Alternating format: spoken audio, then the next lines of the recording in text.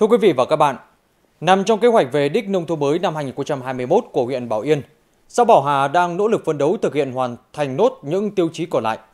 Cho đến thời điểm hiện nay, xã Bảo Hà chỉ còn lại các tiêu chí liên quan đến nhân dân và chính quyền địa phương phải làm. Đó là tiêu chí sản xuất, thu nhập, tỷ lệ hộ nghèo. Do vậy, xã Bảo Hà đang tập trung đẩy mạnh cho việc chuyển dịch cơ cấu phát triển kinh tế, đưa các mô hình sản xuất hiệu quả để tuyên truyền vận động nhân dân làm để giảm nghèo bền vững. Nội dung này sẽ được chúng tôi đề cập đến trong chuyên mục Lào Cai xây dựng nông thôn mới kỳ này. Mời quý vị và các bạn cùng quan tâm theo dõi.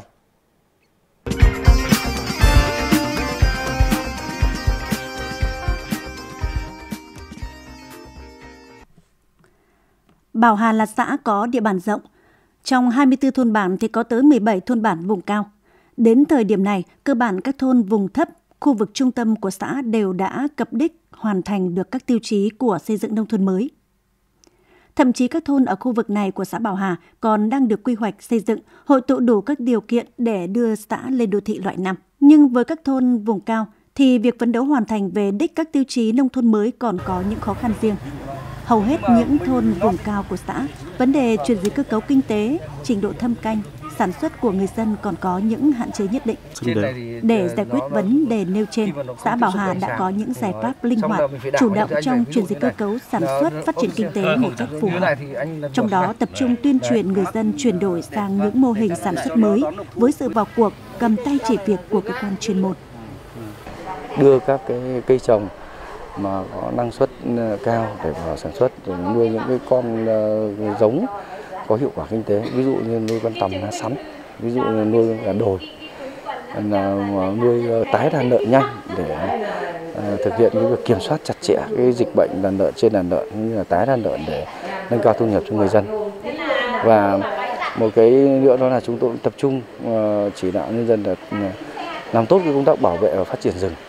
Và cái việc mà khai thác rừng trồng theo đúng theo kế hoạch và và theo cái sự quản lý chặt chẽ của nhà nước. Đồng thời là à, đối với lại à, một số các cái diện tích à, mà có thể sử dụng để nuôi cá nước ngọt thì cũng vận động người dân để thực hiện cái việc nuôi cá nước ngọt. Là chủ động chuyển dịch cơ cấu giống cây trồng vật nuôi, đặc biệt là đi sâu vào trồng cây ăn quả. Vì cây ăn quả này nó có một cái lợi thế là tận dụng được sức lao động tận dụng được đất canh tác và cũng dễ chăm sóc đồng thời và đáp ứng với cái thị trường vì thị trường của xã Bảo Hà nói chung là một thị trường khu điểm du lịch tâm linh. Mô hình mới đầu tiên đưa vào ở một số thôn vùng cao như ở thôn Bản Bông Ba. Phải kể tới đó là mô hình nuôi tằm lá sắn đây là một trong những mô hình phát triển kinh tế khá mới mẻ, nhưng đã mang lại hiệu quả kinh tế cho người dân ở những thôn vùng cao, đồng bào dân tộc. Bước đầu cách làm này chỉ tập trung với vài ba hộ tham gia.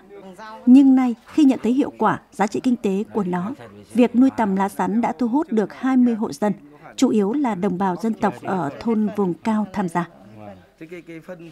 Vâng, mấy hôm nay vào mùa Covid này thì mình cũng đi lâu làm gì được thì ở nhà nuôi tuy nó bây giờ mấy hôm nay là bán giá thấp hơn nhưng mà vẫn vẫn thu hoạch được hơn hơn những những cái khác bởi vì cái này nó ngắn ngày. Chỉ 16 ngày là được thu hoạch rồi. Cũng góp phần kinh tế gia đình về được ừ, tiền trang trải gia đình rồi là con cái đi học này nọ kia thì cũng đỡ được tí nào. Vẫn nâng cao thu nhập, đỡ được ừ, gọi là cũng đang muốn để phát triển lên để xóa đói giảm nghèo cho gia đình. Nuôi tầm lá sắn chỉ là một trong nhiều mô hình sản xuất phát triển kinh tế khá hiệu quả đang được xã Bảo Hà tuyên truyền cho người dân ở các thôn vùng cao phát triển kinh tế, xóa đói giảm nghèo. Mô hình trồng cây ăn quả của gia đình ông Lương Ngọc Ninh ở thôn Bồn Hai, xã Bảo Hà là một ví dụ. Trong quá trình phát triển kinh tế, ông Ninh luôn suy nghĩ muốn có hiệu quả kinh tế cao thì mình phải làm sao không được độc canh một loại cây nào, mà phải đa dạng cây trồng. Mùa nào thức ấy, sản phẩm mình làm sao phải luôn tính đến nhu cầu thị trường. Ban đầu chỉ là trồng cây chanh, cây nhãn. Năm 2015, trên diện tích đất 5 hecta của gia đình, ông đã quy hoạch lại vườn tược, đa dạng trồng các loại cây ăn quả. Nhờ vậy giờ đây ông đã có vườn cây trái sum xuê, cho thu nhập ổn định quanh năm. Cũng như là xem đài báo mà qua thực tế đi tham quan một số mô hình nhìn về tôi mới nghiên cứu vừa làm vừa học hỏi thực sự là gì thế. Thế là khi là cây nó tán nó chưa ra to tức là một hai ba năm đầu thì tôi sẽ xác định là sen canh ở dưới một là trồng dưa hấu và dưa lê đấy cái thứ hai nữa là trồng những cây ngắn ngày ở dưới để tận dụng đất là một hai nữa rồi vẫn cho hiệu quả kinh tế cao. Tức là mùa nào có loại ý. Về mùa nhãn nào có nhãn. Đấy, mùa thanh long có thanh long, về mùa bưởi có bưởi mùa vải có vải mít thái ví dụ như thế các loại cây này. Thì tôi tính là đan xen vào. Mà so về với trồng ví dụ trồng ngạc trồng ngô hoặc là trồng lúa thì về hiệu quả năng suất thì bình quân mỗi một sào nếu mà so với trồng ngô và trồng lúa chỉ là một năm chỉ đảm bảo được khoảng 4 tạ thôi. Nhưng nếu mà trồng các cây ăn quả này sẽ gấp 6 gấp 7 lần so với thực tiễn nếu mà cây ăn quả sẽ gấp 6 7 lần là mức độ khiêm tốn Việc đa dạng trồng các loại cây ăn quả đã giúp cho ông Ninh tận dụng được lợi thế của mỗi loại cây trồng. Điển hình như mô hình trồng ổi kết hợp với dưa hấu, dưa lê trong khu nhà lưới mới được đầu tư này đã giúp ông tận dụng được phân bón, nước tưới, nâng cao năng suất cây trồng và mang lại giá trị hiệu quả với từng loại cây trồng. Bình quân mỗi năm từ mô hình trồng các loại cây ăn quả này đã giúp gia đình ông có nguồn thu nhập hàng trăm triệu đồng mỗi năm.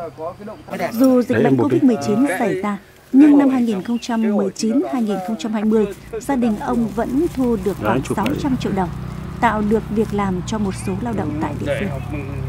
Trong cái à, vận động chung như thế, thế cá biệt cho gia đình ông bà ông à, Ninh Hồng này và một số hộ trong thôn bản đã chủ động sớm chuyển dịch cơ cấu cây trồng vật nuôi mà đặc biệt là đi về cây ăn quả với cái mô hình cho ông à, Lương Ngọc Ninh đấy là trồng cây nó đa dạng. Đa dạng là mùa nào cũng có sản phẩm để bán ra trong trong năm.